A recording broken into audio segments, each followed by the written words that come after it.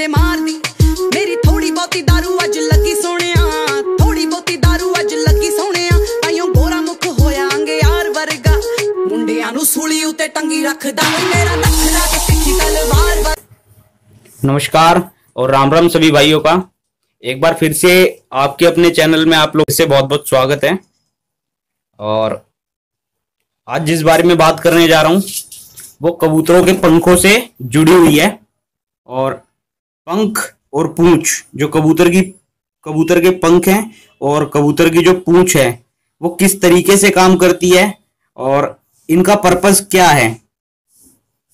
तो ये किस तरीके से कबूतर के जीवन में महत्वपूर्ण होती है और ये अपना क्या रोल अदा करती है एक पक्षी के जीवन में? उसके पंख और उसकी पूंछ।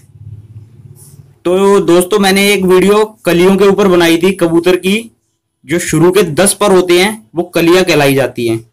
जो शुरू के उसके फ्लाइंग फैदर्स होते हैं, उड़ने वाले पंख, वो उसकी दस कलिया कहलाई जाती हैं। और जब कबूतर बड़ा हो रहा होता है, तब वो एक एक करके झड़ती हैं, निकलती हैं। और जब आखिरी कली जब निकल जाती है कंप्लीटली तो कबूतर बड़ा हो जाता है।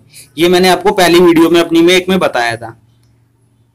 उनको इंग्लिश में बोला जाता है प्राइमरी रिमिंगिस हो सकता है रिमिंगिस बोलने में मेरी प्रोनाउंसिएशन ठीक ना हो, जो मेरा उच्चारण है, वो गलत हो सकता है। तो जो शुरू के पर हैं, दस, जो पहले शुरू के दस पर हैं, उन्हें बोला जाता है प्राइमरी रिमिंगिस जो कि कबूतर के जीवन में या किसी भी पक्षी के जीवन में उसकी उड़ान में एक महत्वपूर्ण रोल अदा करते हैं। सारा का सारा दारोमदार कबूतर की उड़ान पर या किसी भी पक्षी की उड़ान पर उसके जो शुरू के दस पर हैं, वो एक महत्वपूर्ण रोल अदा करते हैं उसके जीवन में। ये जो शुरू के दस पर होते हैं, ये उसकी उड़ान में जब वो उड़ान भरता है नीचे बैठा हुआ है कहीं पे और उड़ान भरता है तो उसमें मदद करती हैं ये। रिमिंगिस है, शुरू के दस पर। जब कबूतर अपनी पहली बार उड़ान भरता है तो इन्हीं पंखों का रोल सबसे महत्वपूर्ण होता है। सारा का सारा ज़ोर जो है, इन्हीं परों को लगाना पड़ता है, ये हवा को काटते हैं और फिर ऊपर की तरफ़ लिफ्ट होते हैं। जब ये एक बार लिफ्ट हो जाते हैं, जो इसके फ़्लाइट फ्लाइंग फेदर्स हैं, जब उनका रोल अदा हो जाता है और पक्षी थोड़ी ऊंचाई पर पहुँच जाता है। तो जो इसके दूसरे पर आते हैं, जो दस परों के बाद होते हैं, वो ग्यारह से बारह होते हैं। तो कबूतर का जो एक पूरा पंख होता है, पूरा एक बाजू होती है, उसके अंदर लगभग 21 से 22 पर होते हैं। और जो शुरू की 10 कलियाँ हैं, उसके बाद जो पीछे के 10 पर होते हैं 10 से 12 पर, उनको सेकेंडरी रिमिंगिस बोला जाता है। उनका भी किसी भी पक्षी या कबूतर के जीवन में एक महत्वपूर्ण रोल है। जब कबूतर ऊंचाई पर पहुँच जाता है, तब उन परों में हवा भर जाती है और वो कबूतर को तैराने का काम करते हैं। मतलब कबूतर को हवा में एक स्थिरता देते हैं वो। उनमें हवा भर जाती है और हवा रुक जाती है, जिससे कि कबूतर हवा में तैर पाता है और आराम से अपनी उड़ान भर पाता है और ज़्यादा देर तक उड़ भी पाता है। तो इसीलिए आपने लोगों की काफ़ी यूट्यूब पे वीडियो देखी होगी। काफ़ी अच्छी अच्छी बातें बताई हैं लोगों ने। उन्होंने ये भी बताया कि जो सेकेंडरी रिमिंगिंस होते हैं, जो जो सेकेंडरी रिमिंगिंस होते हैं, जो पीछे के पर होते हैं, वो एक तो शरीर से चिपके हुए होने चाहिए, चौड़े होने चाहिए और थोड़े लंबे होने चाहिए। जिससे कि जो हवा है, कबूतर एक बार थोड़ी ऊंचाई पे पहुँच जाए तो उसके अंदर हवा रुक सके और वो आसमान में तैर सके। तैरने का मतलब ये है कि उसको जो अपने फ्लाइंग फेदर्स हैं, जो शुरू के दस पर हैं, उन पर कम ज़ोर लगे उसका उड़ने में। इस तरीके से एक पूरी बाजू का रोल अदा हो जाता है और जो 22 या 23 पर होते हैं, एक बाजू के अंदर सभी उस बाजू के अंदर जितने भी पर हैं, जितने भी पंख हैं, उनका महत्वपूर्ण रोल है। अगर एक भी पंख बीच में से निकला हुआ होता है तो उसमें से हवा क्रॉस करती है और कबूतर की उड़ान पे भी बहुत ज़्यादा फ़र्क पड़ता है और उसकी जो बैलेंसिंग है, जो उसका हवा में तैरना है, वो भी डिस्टर्ब हो जाता है पूरा अच्छी तरीके से। इसीलिए कबूतर ज़्यादा देर तक आसमान में रुक नहीं पाता, उड़ नहीं पाता। दोस्तों, ये एक काला कबूतर है। तो इसकी जो आगे की दस कलियाँ होती हैं, आगे के ये दस पर होते हैं। दो, तीन, चार, पाँच छ सात, आठ, नौ, दस। ये जो पर हैं, ये इसके उड़ने वाले पर होते हैं, जिससे कबूतर आसमान में उड़ान भरता है। तो ये बहुत ज़्यादा ज़रूरी होते हैं उड़ने के लिए। और इसी के साथ ये पीछे के, आपको शुरू के दस के बाद पीछे वाले पर दिख रहे हैं। ये सेकेंडरी रिमिंगिस होते हैं, जो शरीर से चिपके हुए पंख होते हैं। और इसी के साथ साथ मैंने आपको पहले ही बताया था, पिछली वीडियो में मैंने एक कलियों के बारे में आपको बता रखा है, जो इसकी टेल है, जो कबूतर की टेल होती है, वो किस तरीके से उड़ने में अपना रोल अदा करती है, वो टेल किस तरीके से महत्वपूर्ण होती है, ये देखिए आप इसकी टेल देखिए, ये पंजाबी ब्रीड का कबूतर है, काला दुबाज कबूतर।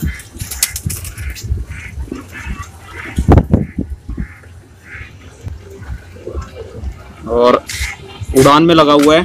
तो जो टेल का तो जो इसकी टेल है वो कितनी महत्वपूर्ण होती है किसी भी पक्षी के जीवन में आइए उसके बारे में बात करते हैं।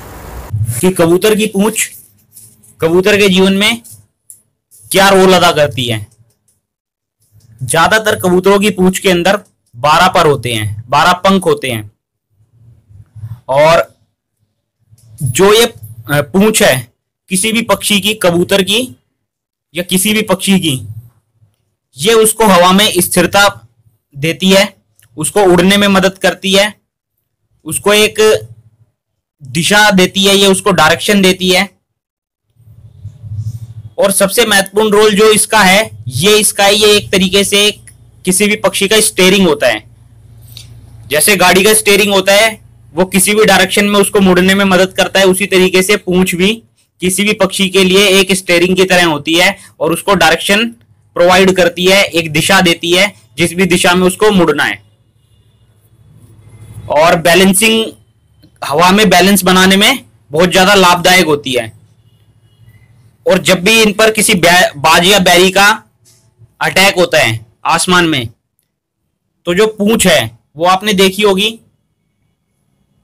वो जो भी पूंछ वाले कबूतर हैं वो ऐसा होता है, कई, काफ़ी कम बार ही पकड़ में आते हैं बाज और बैरी के, क्योंकि पूंछ उन्हें स्थिरता देती है और उनको डायरेक्शन प्रोवाइड करती है कि किस दिशा में उन्हें मुड़ना है और अच्छी तरीके से मुड़ने में मदद करती है उनकी। और जिन कबूतरों की पूंछ नहीं होती, लोग लांडा कर देते हैं, कबूतरों के पूंछ के पंख निकाल देते हैं और जब वो काफ़ी ज़्यादा उड़ान पे आसमान में चले जाते हैं, काफ़ी ज़्यादा ऊंचाई पर चले जाते हैं तो सबसे ज़्यादा शिकार बाज और बैरी का वही होते हैं जिन कबूतरों की पूंछ में पंख नहीं होते। तो आप लोगों से यही कहूँगा मैं, अगर आपने किसी कबूतर की पूंछ छटाई कर रखी है, पूंछ के पर उसके छांट रखे हैं तो उसको उड़ाइए मत जब तक उसकी पूंछ आ ना जाए सही से। तो जो पूंछ है, अब इसके अंदर, पूंछ के अंदर भी दो तरीके की पूंछ आ जाती हैं। कुछ कबूतर खुली पर, जो पूंछ के पर है, उन्हें खोल के उड़ते हैं, और कुछ एक पत्ती पूंछ बना के उड़ते हैं। मतलब पूंछ का एक पर होता है और बाकी सारे के सारे ग्यारह पर उसी पूंछ, उसी पर के नीचे होते हैं। बंद पूंछ के कबूतर हैं। वो हमेशा राउंड लंबा लंबा लेगा और काफ़ी ज़्यादा ऊंचाई पर भी जाएगा नहीं। जैसे कि आपने लो फ्लायर्स में देखा होगा, मद्रासी और पंजाबी में ये बंद पूंछ के कबूतर होते हैं और ये लंबा चलना पसंद करते हैं। और जिन भी कबूतरों की पूंछ खुली हुई होती है वो चक्कर में उड़ते हैं और छत से, छत का, जिस छत पे वो उड़ते हैं, उसी छत के चक्कर लगाते रहते हैं। जो खुली पूंछ का कबूतर होता है, वो बाज और बैरी का ज़्यादातर शिकार बनते हैं। उन कबूतरों के मुकाबले, जिन कबूतरों की पूंछ बंद होती है।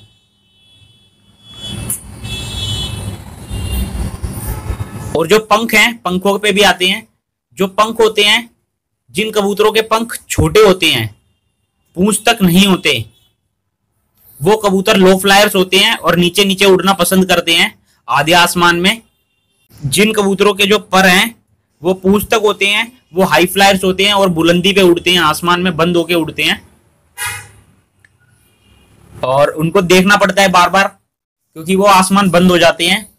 और जिन कबूतरों के छोटे होते हैं, वो लंबी उड़ान देते हैं और आपको हर एक घंटे वो दिखाई देंगे।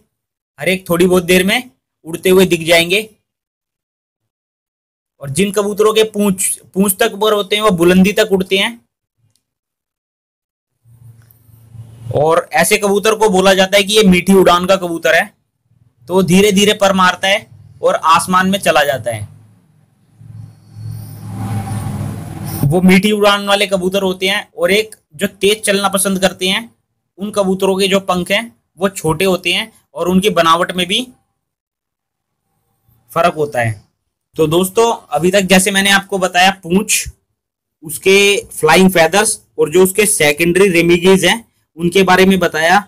शुरू की दस कलियाँ पूंछ और आखिरी की दस कलियों के बाद के ग्यारह से बारह पर। तो कबूतर की उड़ान में सबसे महत्वपूर्ण रोल यही तीनों चीज़ निभाती हैं, जो कि सब कुछ निर्भर करता है इन्हीं के ऊपर। आप लोगों ने जो हवाई हवाई जहाज़ आसमान में उड़ते हुए देखे हैं एरोप्लेन्स देखे हैं, उनका भी जो बेसिक स्ट्रक्चर है, उनका भी जो आकार है, वो पक्षी की शेप का ही होता है। दोनों साइड पंख होते हैं, उसकी भी पूंछ होती है एक। बिना पूंछ के आपने कोई भी हेलीकॉप्टर या एरोप्लेन नहीं देखा होगा। आपने हेलीकॉप्टर के अंदर देखा है, उसके अंदर पंख नहीं होते। मगर उसकी पूंछ ज़रूर होती है। तो जो पूंछ है, वो उसको डायरेक्शन देती है, एक दिशा देती है उड़ने के लिए। और जो पूरा का पूरा एविएशन सिस्टम है, जो उड़ने वाले विमान बनाए गए हैं, वो सारा का सारा एक पक्षी के बॉडी स्ट्रक्चर पे है। हवा में उड़ने वाली बॉडी होती है उसकी। इसीलिए वो भी आसमान में तैर सकता है। तो दोस्तों, अगर आप तक ये जानकारी पहुँच पाई हो तो बहुत अच्छी बात है। आप सभी लोग मुझसे जुड़े। मुझे आपने सपोर्ट किया। उसके लिए आपको हाथ जोड़ के धन्यवाद। और आप लोगों से यही विनती करना चाहता हूँ, अपना साथ मेरे साथ बनाए रखें।